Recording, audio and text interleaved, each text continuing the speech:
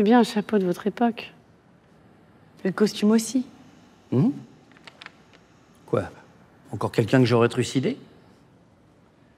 Enfin, Je comprends pas pourquoi Estelle de Magny aurait mélangé dans son rêve le meurtrier de Benoît Lafarge avec votre univers.